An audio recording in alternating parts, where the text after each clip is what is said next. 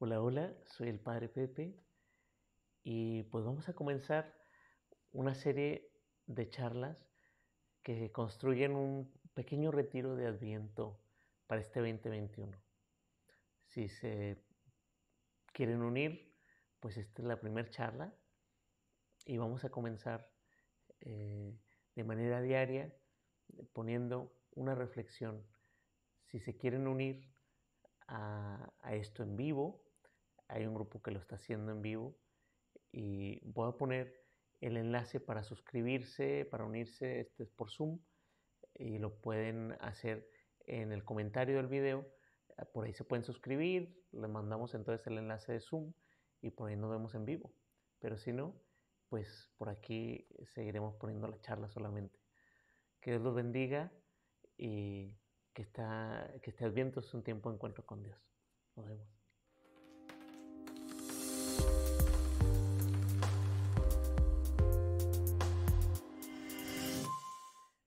Estamos en un año muy único. Vamos eh, pues viendo cómo esta pandemia ha progresado. Y yo creo que pues este retiro es un buen momento para detenernos, para respirar.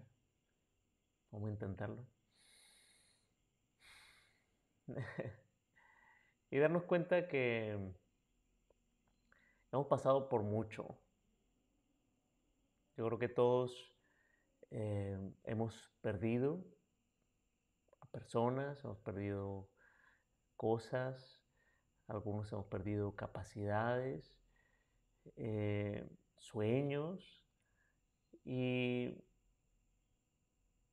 este es un momento para revisar no solamente lo que hemos perdido, sino también eh, lo que Dios quiere darnos. Porque en Adviento, pues también José y María tuvieron que dejar mucho antes de poder recibir a Cristo.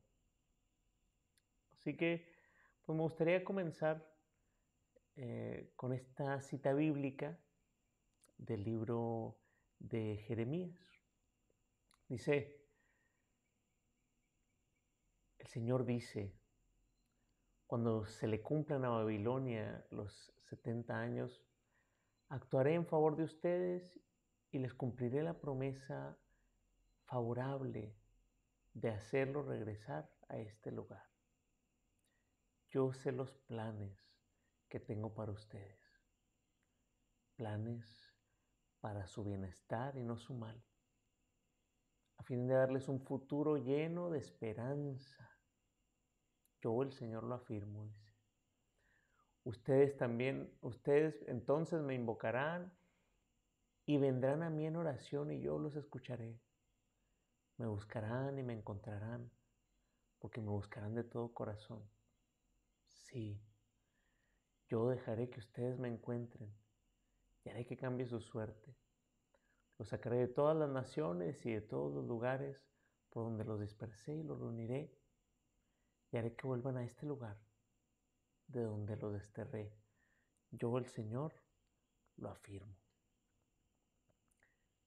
Primero, pues en este retiro venimos de, diferentes naciones por las que estamos dispersas. Hay gente que, que, se nos ha unido de Venezuela, otras personas de México, otras personas de Puerto Rico, y pues el Señor nos está invitando a estar con Él. Y nos hace una promesa que, que nos dice, tengo promesas de esperanza para su bienestar, para su bien.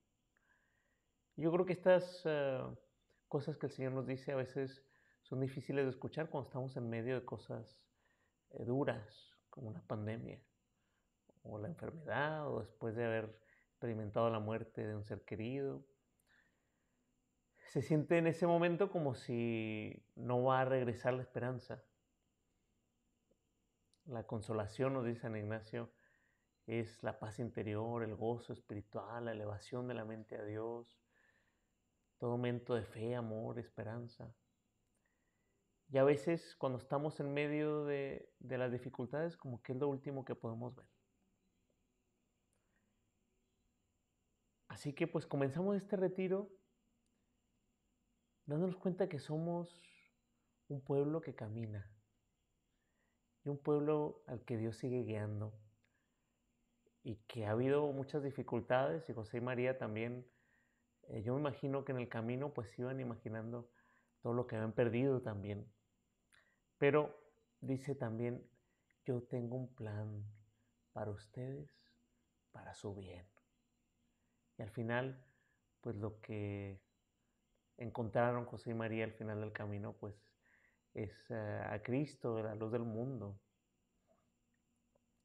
Así que comenzamos este retiro pidiéndole a Dios que, que vayamos tomando conciencia de cómo estamos. Eh, tal vez no estamos llenos de esperanza, tal vez estamos en medio de la dificultad y podemos escuchar esto sin forzar a sentirnos positivos, a sentirnos con esperanza. Eh, yo creo que más que nada en este retiro el Señor nos pregunta, ¿cómo estás? Una pregunta tan común, tan del día a día, pero que el Señor se interesa en escuchar la respuesta. A veces no tenemos el tiempo de verdad compartir cómo estamos. Pues el Señor tiene el tiempo y este es el tiempo correcto, este retiro para dejarnos contestarle a Dios ¿cómo estoy? Tal vez como también el médico que le dice al paciente, ¿dónde te duele? Apúntame, aquí, acá. ¿Qué sientes? Un papá le dice a su hijo, ¿dónde te duele? Así que comenzamos este retiro, pues conscientes de, de dónde nos llama Dios y de dónde estamos, la realidad.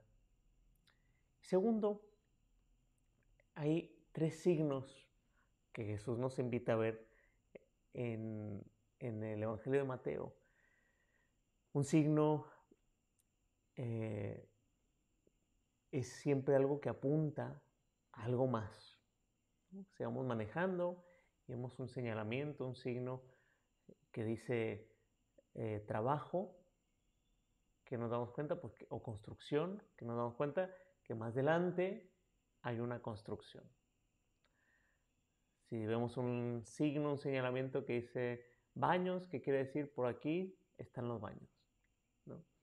Los signos nos apuntan a, otros lugares, nos, dirigen un poco. se vuelven así como normalmente están en la puerta de un lugar, se vuelven como la entrada a lo que buscamos.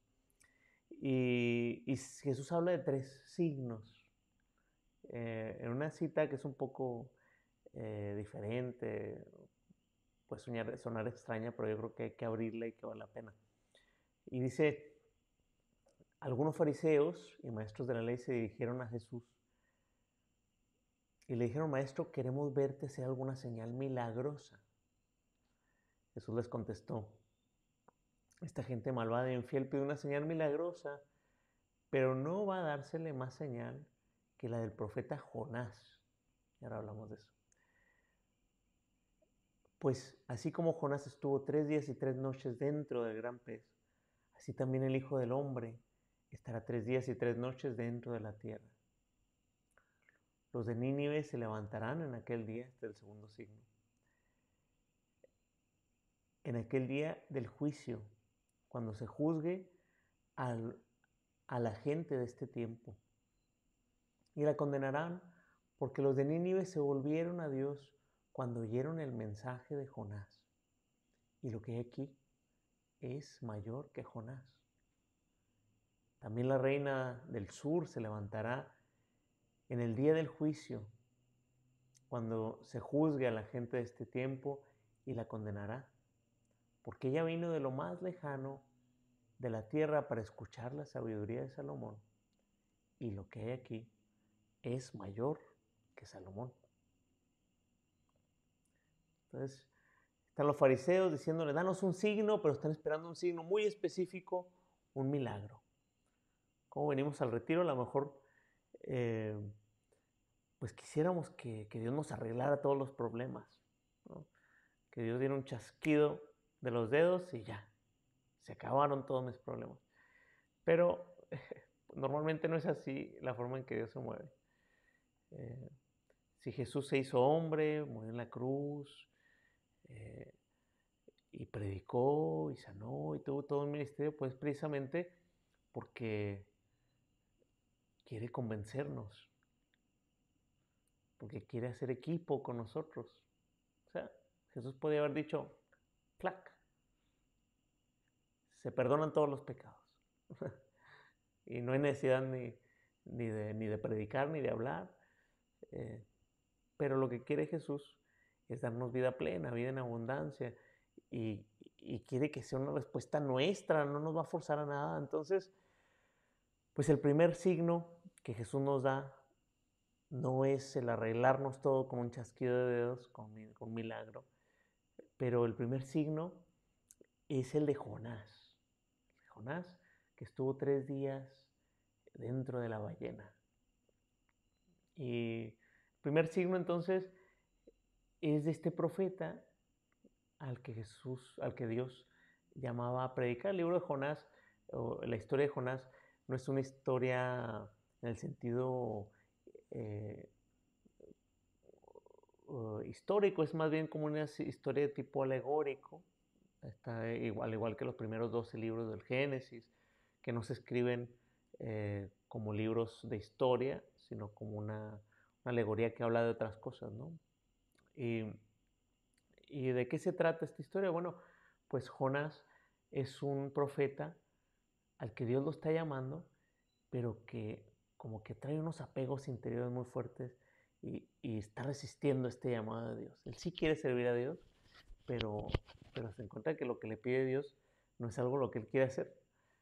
Y va, se va al sentido contrario de Nínive y en la barca pues empieza a haber una tormenta y él como que reconoce esta tormenta él, cree por, por, mí, por mí y no quiero que se hunda el barco por esta pobre gente, salta el barco y se lo traga o lo, lo, lo, ingiere una ballena. No lo, no lo traga totalmente, como que se lo trajera en la boca, ¿no? Y son tres días eh, de silencio. Y tres días yo creo también de confrontarse, estar borde de la muerte. Y, y a veces hay momentos así donde nos encontramos como a punto de ser tragados por un monstruo. Eh, ahora con la pandemia estaba yo leyendo unos estudios que se han hecho acerca de los sueños desde la psicología y se entrevista a la gente qué, qué sueños comunes hay. Y uno de los sueños más comunes durante esta pandemia era el soñar un monstruo que los perseguía y que normalmente era un monstruo eh, con unas características muy únicas, a veces verde, un monstruo así como con, picos en la cabeza, o como con una corona, y, como con moco, un, monstruo así como de podredumbre, ¿no? de pudredumbre.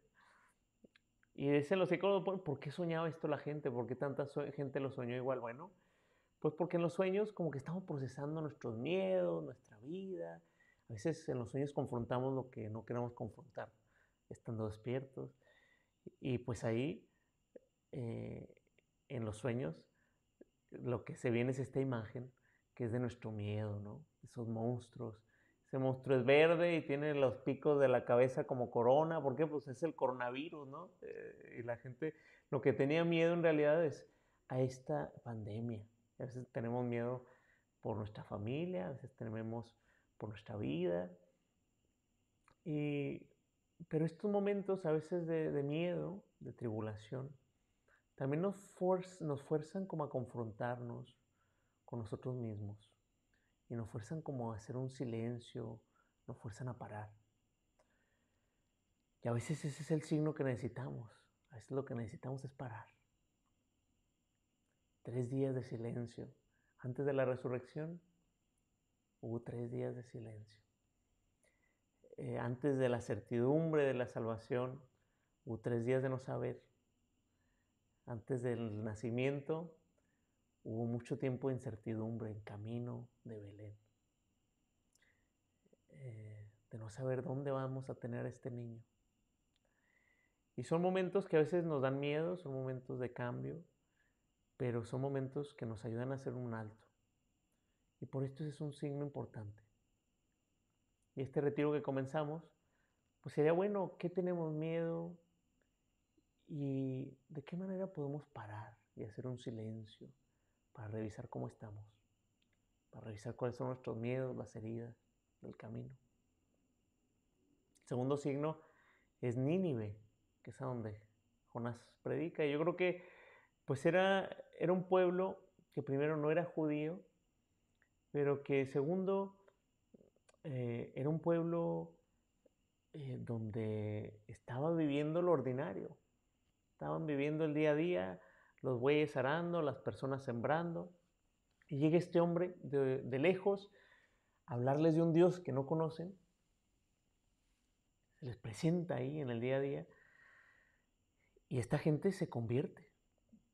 Esta gente dice, wow, aquí hay algo que hay que escuchar. Y hacen un cambio en su vida. Yo creo que también a nosotros el Señor nos invita a encontrarlo en lo ordinario, en el día a día. Estamos comenzando un retiro virtual y esto significa pues que vamos a estar algunos con los niños, otros con el trabajo, algunos con la familia, con compromisos, con tiempo apretado. Y es ahí también que el Señor se nos quiere presentar. Nos vale la pena ver en lo cotidiano cómo se nos quiere revelar, cómo de repente escuchamos una voz que nos llama en el día a día. ¿Qué les recomiendo? Pues el tratar de, de encontrar a Dios en lo cotidiano, de buscar por dónde ha estado Dios aquí, en mis hijos, en mi trabajo, en la escuela, donde nos encontremos. Y finalmente eh, está la reina del sur. Y la reina del sur eh, representa esta, esta mujer histórica, Bathsheba, parece que se llamaba, que viene a visitar al rey David. Y primero es inusual porque es extranjera. Entonces viene de un lugar distinto y ella reconoce lo que Dios está haciendo en este pueblo. Alguien que es extranjero. Segundo, Bathsheba era mujer. Normalmente el que viene de visita de un pueblo lejano, como con la autoridad y la fuerza, no es la reina, es el rey. Pero aquí en esta sociedad, pues parece que era una sociedad donde la reina era la figura más importante. Es esta reina que además de ese país del sur donde viene, pues se cree que pudo haber sido eh, un lugar de donde esta mujer hubiera sido de tez oscura o negra. Entonces, es una figura de una mujer negra extranjera. Lugares donde inclusive hoy batallamos como sociedad para conferirle dignidad a una persona. Al extranjero a veces lo vemos como el de fuera, el que no tiene voz. La mujer a veces se encuentra así también, vulnerable, sin voz. Y gente de color, entre más oscura la tez, parece que, que llega mayor el racismo y, y las diferencias. Y son gente que a veces eh, vemos, ve la sociedad sin dignidad, a veces que ve la sociedad como menos, pero esta fue la persona que viene a revelar, a reconocer quién es Dios. Así que también yo creo que hay una invitación a abrir los ojos, a tratar de, ver en qué lugares normalmente no pongo atención. ¿Qué persona normalmente paso de largo? Para quien no tengo tiempo. a lo mejor crear el momento pequeñito de preguntar, ¿cómo estás? Alguien que, para el que normalmente no tengo el tiempo, escuchar un poco, alguien que normalmente no escucho. eh, de dejar también que, que el Señor nos encuentre fuera del ordinario. Pero eso tal vez indica pues que, que habrá que, salir de la rutina también, salir de casa, dar por una caminata, encontrar también una libertad en hacer las cosas de manera distinta durante esta semana, este tiempo de retiro. Ir viendo cómo se nos presenta Dios. Así que en tres cosas. Primero en el signo de Jonás, que puede ser poniendo la atención a nuestros miedos, tal vez para hacer un silencio, para parar, tomar como un momento de silencio para ver qué es lo que valoro. Segundo, en Nínive, para ver lo cotidiano, tratar de encontrar a Dios ahí, en lo cotidiano. Y tercero, en lo extraordinario, en lo que normalmente no vemos, en lo pequeño, en, en, lo que no tiene voz, en lo que a veces no le damos importancia. Y tratar de buscar a Dios cómo se me estará presentando ahí. Así que, pues, con esto yo creo que es un buen comienzo el retiro. San Ignacio dice, hay que empezar con ánimo y generosidad. Así que, pues, comenzamos este retiro dándonos al Señor, em, pidiéndole que nos vaya abriendo los ojos a reconocer cómo estamos, cómo necesitamos que acaricie nuestro corazón, cómo necesitamos que, que se nos presente de manera gentil y pedimos al Señor que, que este tiempo sea ese tiempo de gracia para encontrarnos con Él.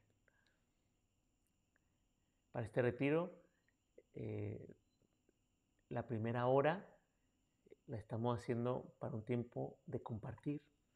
Y estamos compartiendo, pues, precisamente el resultado de mi oración durante el día anterior. Cómo he encontrado a Dios en lo, en lo ordinario, en los lugares donde no miro, o inclusive en mis miedos y en el silencio. De eso vamos a hablar mañana cuando comencemos. Y así que, pues, los veo por ahí. Que el Señor los bendiga les pido que nos mantengamos en oración mutuamente y que el Señor se sienta cercano. Nos vemos.